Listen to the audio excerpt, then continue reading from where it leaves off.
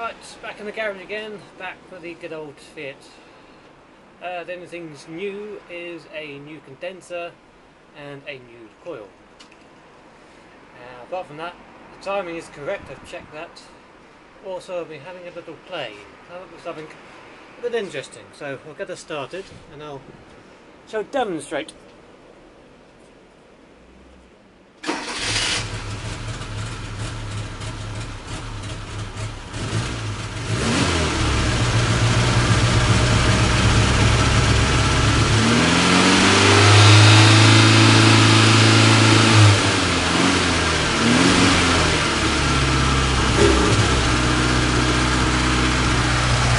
I've had it running for a while, so the engine's warm, choke is off. Slightly different. Sometimes it does die. Hang on.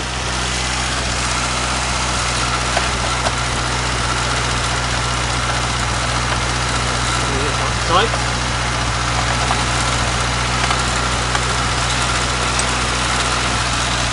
Right.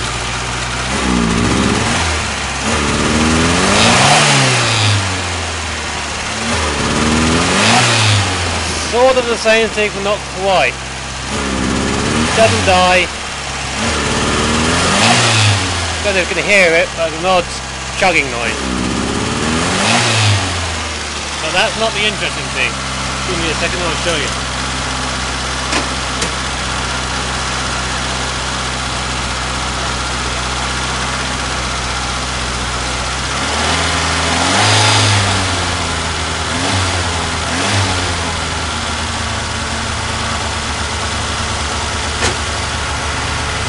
Right, choke is now fully closed.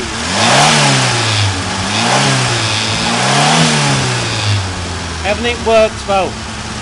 It appears to be working as an engine should with the choke closed.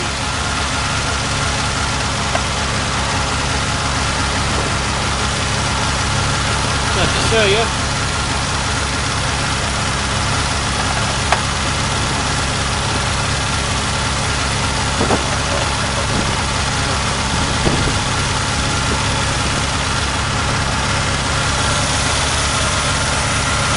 The off. See, choke is closed.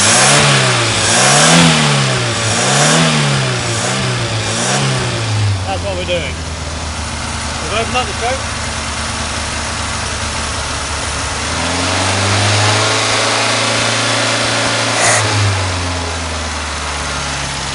And